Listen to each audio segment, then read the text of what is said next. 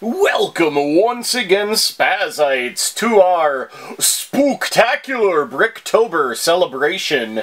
Uh, as of recording this, which is the same day I'm posting it online, tomorrow is Halloween, so I didn't manage to get all of the Monster Fighters sets done before Halloween, but I'm going to continue my Bricktober into November.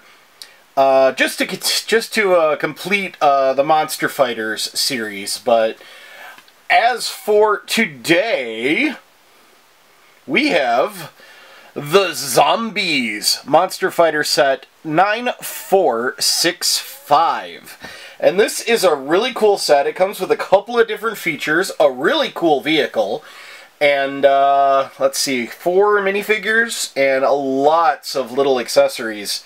So uh, anyway, let's get to it. First of all, let's get down to the vehicle. Now we have a really cool figure, another character with a, uh, a prosthetic. We had that one character who has the prosthetic android leg. Now we've got a character with a cool prosthetic arm. And uh, yeah, he's got a cool claw grabber there on his hand. And he comes with a Thor hammer, which is pretty cool. Uh, I'm assuming it's just supposed to be a big mallet. He's not supposed to be Thor in any way, shape, or form. Uh, he does not have a double-sided face, obviously, because of the hat. He's got a real cool green shirt and vest top. And uh, I think those are supposed to be knee pad guards on his legs. But he comes with this really cool vehicle. Well, he doesn't, you have to build it, whatever. Uh, he's got a really cool vehicle here. Let me zoom back out a little. He's got a little train cow catcher in the front. He's got four mounted flick missiles on the top. And this is the coolest part. When you roll the tires, he's got spinning hammers. It's only this tire over here. You can see uh, underneath we've got a gear here and that's what uh, moves thing the uh, the hammers. But he's got a uh, molded cab for his vehicle. Uh, he does have an area in the back for another character to stand and I guess fire off these missiles or just for storage. Uh, a really cool detailed engine. I just love all the details you can make with Lego. It's awesome. And like I said, he's got that cow catcher, a couple of headlights there. Really cool set. Let's uh, go ahead and put him back in his vehicle. Boom. And let's get down to the uh, meat and potatoes of the set are vampires. I'm going to zoom out. And, oh no, I accidentally... Okay, cool. Now the vampire... Or not vampires, I'm sorry, zombies. The zombies have a... Uh, three minifigures with them. We've got a, a zombie bride in her uh, her dress. She has two faces. See, she's got a very worried face, and then uh, I don't know, just a regular zombie angry face. I don't know if you could call that angry. Um, uh, the other two characters are actually hidden inside the uh, the coffin grave things here. You can open them by twisting our moonstone, and then they are perched up here. We have a second zombie chauffeur. I think it's the same one. Uh, my zombie chauffeur is right here. Let's see if he's got the same... Yeah, it's the same guy. Same zombie chauffeur. Obviously, it's a Lego piece, so you can try and find a different zombie head and change it up however you want. So you've got more different characters. And then over here, we've got our zombie groom. Now, uh, I couldn't find anything anywhere that showed the, uh, the zombie bride in the other coffin, and I can't get her to, if you put her on one of these coffin things, the, the coffin just doesn't close all the way. Her, her hair is too big. If you turn her around, if you lay her in here on her own, it just, it just doesn't close. So, the two male figures get to go in there, I guess if you can call them male figures. Now, the other thing about this particular set is that back here you've got a little lever. And when you flip that lever, it launches this pot full of stuff. We have a few bones and a few little yellow studs inside this pot. I don't know if it's supposed to be a witch's brew pot or what.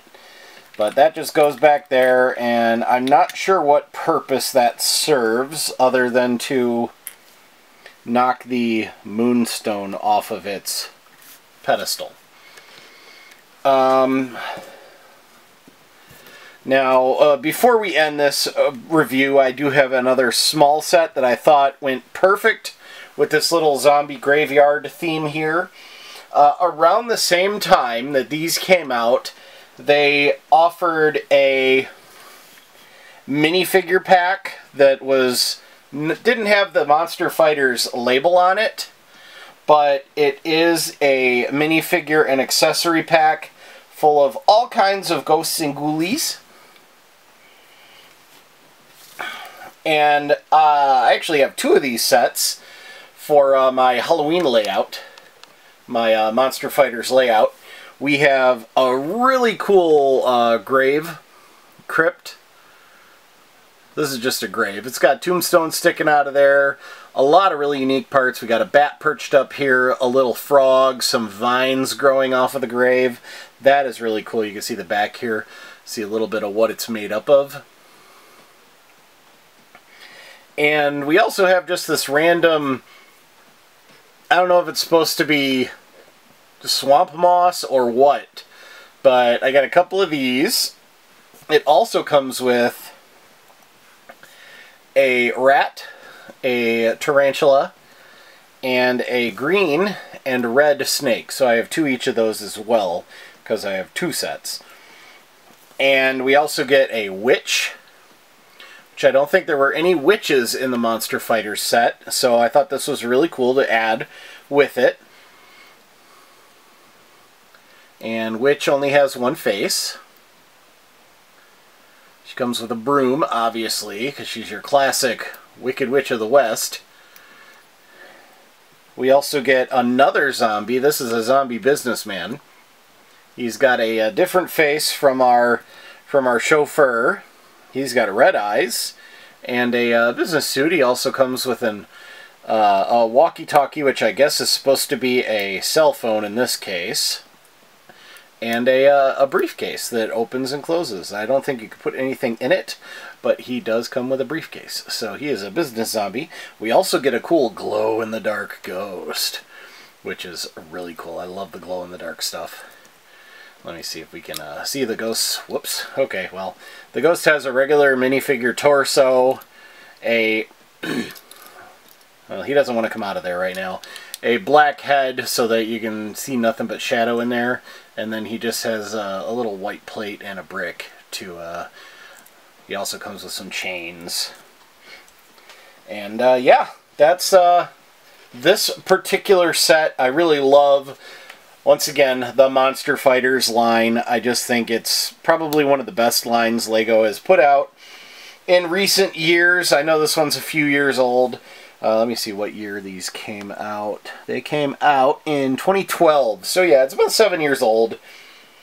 But still, I love the line. It's one of my favorites. Uh, right up there with, uh, I still have yet to get the uh, the uh, hidden side, but the hidden side reminds me a lot of Monster Fighters. And I think they're going to look good together. I know the hidden side has some brighter colors and some transformations and stuff, so it doesn't really fit perfectly. But I still think it's a really good, creepy line, and uh, I hope to be able to collect that. Anyway, till next time, thanks for watching, be kind, happy hunting, and goodbye.